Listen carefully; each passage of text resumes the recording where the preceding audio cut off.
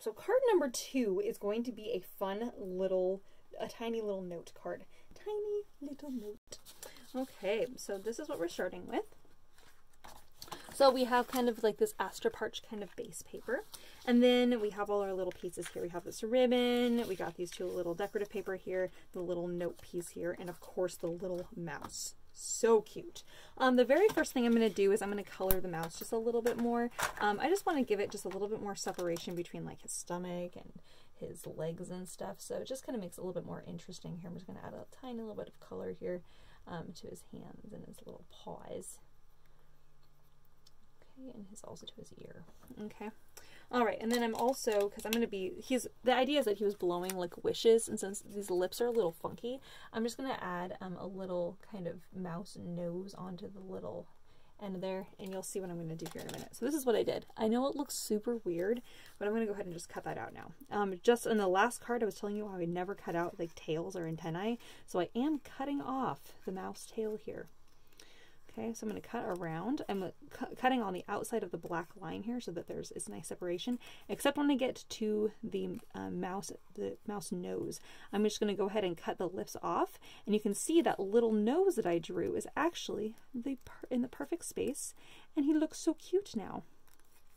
And he is just like looking up, and it's going to be perfect. Okay, so he's not blowing any wishes now. All right, so he looks like this. I think he turned out pretty cute little nose. Pretty fun. Okay. So now he's going to be holding this as his little note. Oh, I love it. So what you're going to want to do is we're actually going to be trimming this. Okay. I did this on purpose. All right. So we're trimming this down to size. So it's really the littlest note maybe you can possibly get. In fact, if you can go any even littler, you can go even littler. Okay.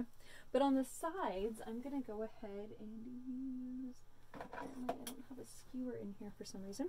I'm going to use, um, well, it's actually a pick um, here for poking out die cuts. I'm actually going to curl the ed ends of this just a little bit. If I can, I'm going to curl the whole thing.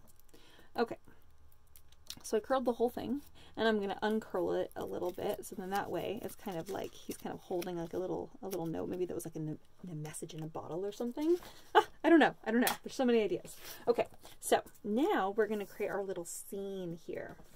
So first thing I'm going to do is I'm going to go ahead and glue my decorative um, kind of floral looking paper on the top and bottom here. I'm going to give it a little bit of an eighth of an inch border on the top and bottom just because then um, it just makes it the um, floral stand out, the floral pattern stand out a little bit more. Okay, just like that. All right, and then we're going to stick our little mouse guy. He's going to be standing on this little edge here and he's going to be holding the little note. Oh gosh, it's just so cute. I'm only, so because this note is curled like this, I'm going to be putting just a little bit of glue right here on the end.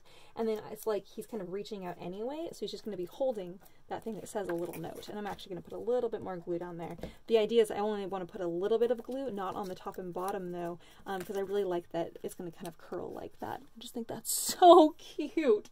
Oh my gosh. I love this. Okay, so this right here, which is the back side of this paper, I thought would be cute as like a little cork board. Oh my gosh, so cute. So you may need to turn it so that it can fit your little piece of paper. And then this is going to be the little top of the cork board, right? Oh, and I did give you some little dimensional dots in here. And so those are going to go on the back side of your little cork board topper. So then that way your little cork board has a little bit of dimension there. Okay. Oh, I gotta go back and add the little mouse tail. I haven't done that yet. All right, so this is gonna go on the top of my little cork board. I'm gonna give it just a little bit of black at the top, so then that way it's a nice separation. It's gonna stick on here. So cute. I'm actually gonna scoot that over a little bit because I'm gonna be tying a bow on the side. Okay. All right, now you can have your little notes and stuff and whatever you want to write for your little cork board. You may even have like a little little notes up here at the top. I don't know yet. You can kind of decide what you want to do there. So I'm going to add a couple little things. I'm going to kind of curl the ends of that just a little bit. So it's like notes are sticking on the board. So cute. Oh my gosh.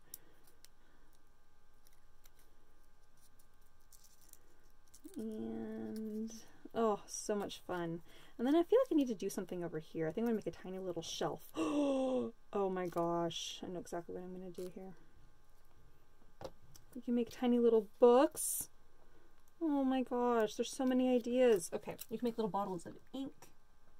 I'm to go ahead and just, in this little piece of paper here, just draw a line just on the inside of the paper.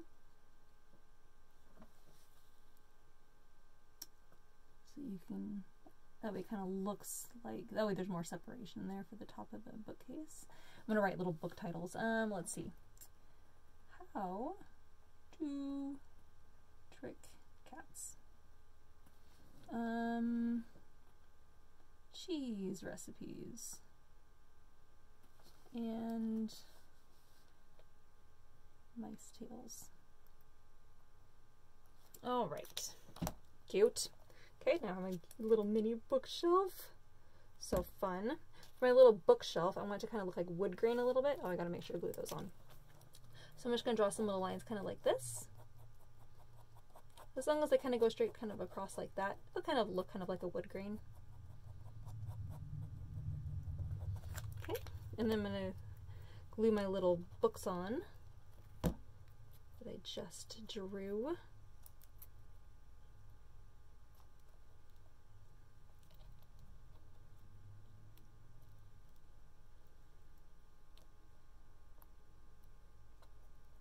And give a little space between each or a couple of the books. So like they're stacked on the shelf there. All right, and then I'm going to glue my little notes here. We'll say, have a great day.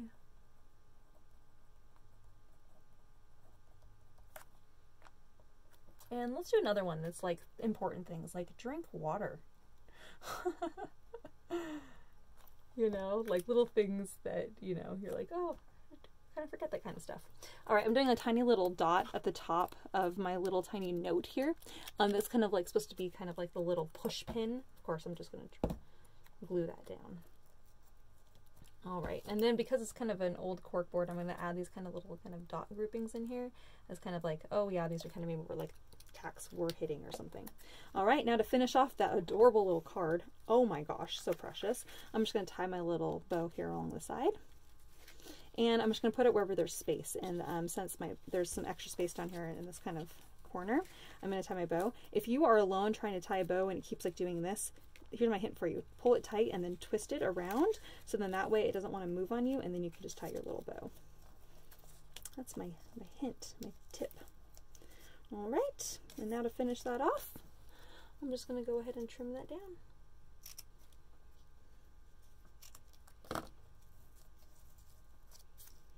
All and there we have card number two. Ah, oh my gosh, it's so cute. Look how fun that is. Oh, I forgot to draw the tail.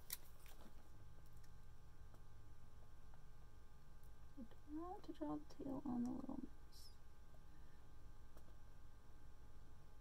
And since I, of course, I trimmed off his little face there, I'm just adding a couple little lines here where I had accidentally trimmed off the little black lines just to kind of make that look a little bit more finished and because I'm using a Slicci pen it's really fine point. I'm actually going to double the thickness of my line here so that it looks like it's part of the it's the same thickness as my stamp um, my stamped image.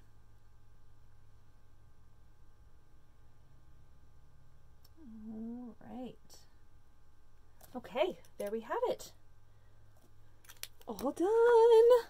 How fun is that? Oh so cute all right, and then of course you can write whatever you would like on the inside. Okay, those are the two cards for today, you guys. Thanks for watching. I'll see you later. Bye-bye.